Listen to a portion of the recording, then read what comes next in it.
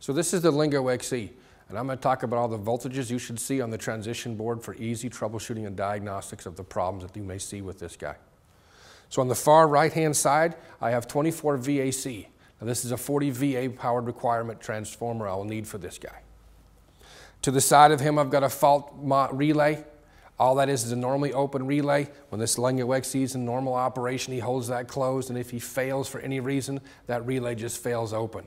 The other end of that signal will be another control system that can report for this guy because he's apparently got no power. That's why the relay failed open. To the side of that, I've got three digital inputs. Now, part of this Lingo XE's responsibility is to take 24 VAC and convert that to 5 volt DC. So each of these positive terminals is a 5 volt DC power source. So if I use that wire, I will send 5 volts DC out that wire to that device, a phase loss, a side emergency, or a pulse meter. Those will go closed and send that 5 volts back to my Lingo XE. So if I put my meter across those two terminals and I do not see 5 volts, that means I've got a contact closure. Now the phase loss, the Lingo XE will simply shut off all rooftop units.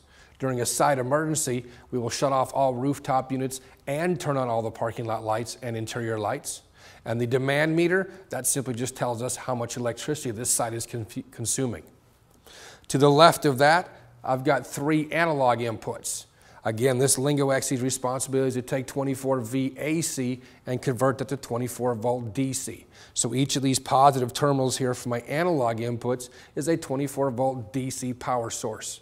We use that for our 4 to 20 milliamp loop powered sensor, the outdoor light, the outdoor temp, and the outdoor humidity. We just simply use that for any logical control for indoor HVAC or exterior parking lot lights for the outdoor light sensor. To the far left side of that is my module COM ports. I happen to have four of them in the Lingo XE. The 2 to 3 volts DC we talked about before is required when I have 24 VAC and no wires attached. I will see that 2 to 3 volts DC here again between positive and shield and negative and shield. And he uses that for all the modules under his logical control, whether that's HVAC modules manufactured by Novar, lighting modules. And then to the right of that, I have a COM port called LAN.